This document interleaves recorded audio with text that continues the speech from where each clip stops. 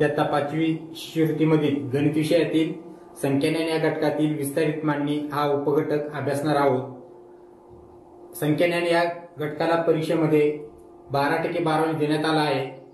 संख्याज्ञान घटकांतर्गत एकूण सात उपघटक येतात.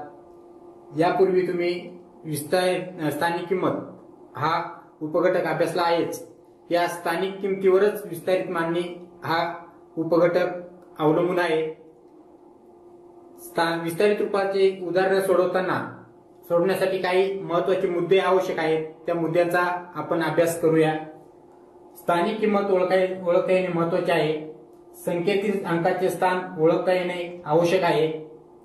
विस्तारित मांडणी म्हणजे अंकांची स्थानिक किंमत बेरजेच्या रूपात स्थानानुसार लिहिणे. उदाहरणार्थ पाच हजार अधिक सहाशे अधिक वीस अधिक चार. सर्वात सोपा आणि शंभर टक्के गुण मिळवून देणारा हा प्रश्न आहे. या उपघटकावर परीक्षेमध्ये विचारले जाणारे जे प्रश्न आहेत ते कशा प्रकारचे असतात त्याविषयी आपण थोडक्यात माहिती पाहूया.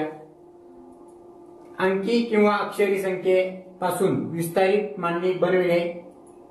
विस्तारित मांडणी वरून अंकी किंवा अक्षरी संख्या बनविणे. पदावलीवरून विस्तारित रूप बनविणे. रकमेवरून विस्तारित रूप बनविणे. दोन संख्यांची बेरीज वजाबाकी किंवा गुणाकार करून येणाऱ्या उत्तराची विस्तारित मांडणी तयार करणे. या प्रकारचे परीक्षेमध्ये प्रश्न विचारले जातात.